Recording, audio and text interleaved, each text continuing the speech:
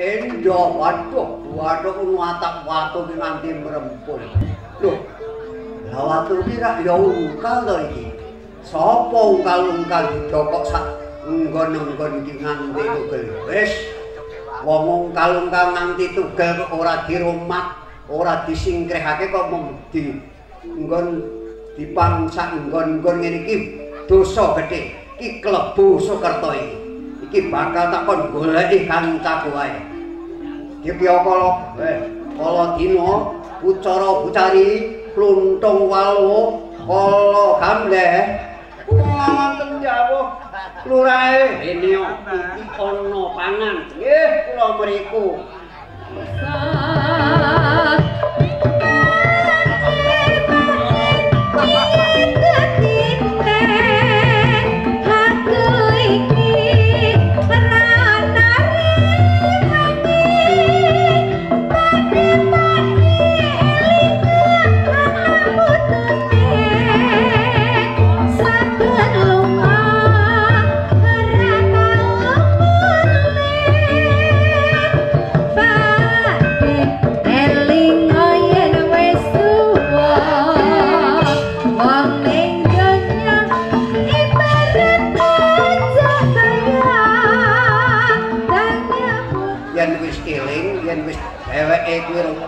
rumangsa ya kuwi duwe dosa. Yen wis diruwat Nurwakala aja pisan-pisan kowe ganggu gawe.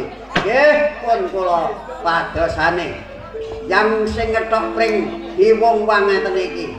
Eh wong ngethok pring kok di wong-wang iki jenenge ya Kulakala iki ya dadi Sukerto mula wong kene nek ngethok pring aja di wong-wang timbangane genine molat-molat kaya ngene banyune wis umuk semua semungaran lah kok ditinggal malih iki wong wadon iki sapa to iki? Oh lah kae apa?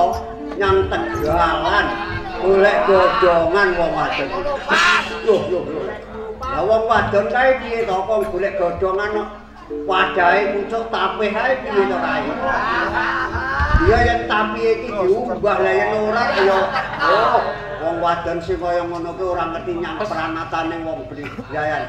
Lah yen nadang ditinggal ngalih iki. Lah yen dandange goleng sapa sing sanggung jawab ra ora ono. Yen wong wis manunggal dadi siji karo masyarakat ing padukuhan Karang kene ngenengake watan ngono. Ya matur sembah nuwun tegese mbuh titik-titik oke-oke masyarakat ing desa ing padukuhan Karang kene iki nguripi awake dhewe ngono ya. Oh iya. Oh iya. Wong yen rasane rong taun setengah ora nanging. iki kok. Iya bener. Kopet tak. Kena kopet ki ora mungkin kok. Luar Indonesia ya kena kopet. Ya, ning yo alhamdulillah masyarakat ing desa Karang kene, padukuhan Karang kene utuh ya, Kang. Alhamdulillah, Mbah. Alhamdulillah. Sehat kabeh. Nek malam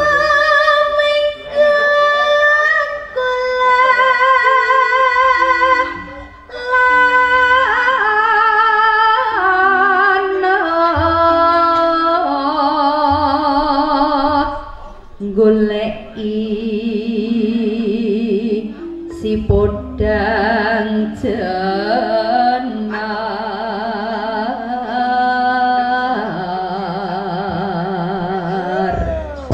Assalamualaikum warahmatullahi wabarakatuh. Waalaikumsalam. Alhamdulillah wa syukurillah wa nikmatillah la haula wala quwata illa billah ma ba'du.